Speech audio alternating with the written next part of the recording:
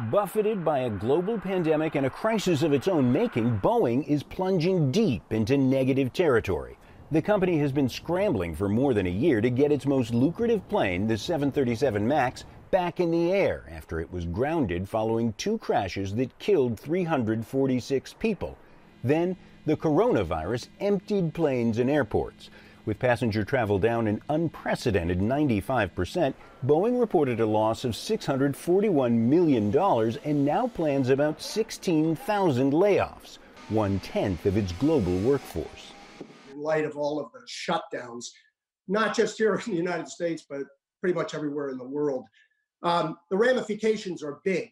Um, for the most part, uh, the industry is not interested in taking uh, delivery of airplanes at the moment and or prepaying against contracts that we have in hand.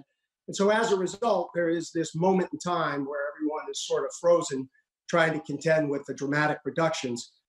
Southwest and other airlines are cutting their orders for the 737 MAX. And with fewer long haul travelers, Boeing is cutting back on production of its massive 777 and 787 Dreamliner jets.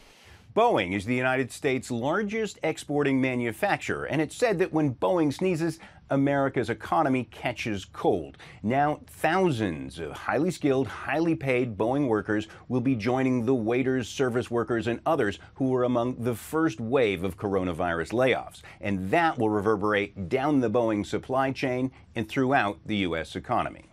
Boeing rival Airbus also posted a $521 million loss in what its CEO calls the gravest crisis the aerospace industry has ever known. Analysts say Boeing and Airbus will have to restructure for a new marketplace and compete with their own cheaper used planes languishing on tarmacs around the globe. They're all dressed up, they got nowhere to go, and the reason being there isn't any traffic. Certainly across the Pacific, toast. China, bad news.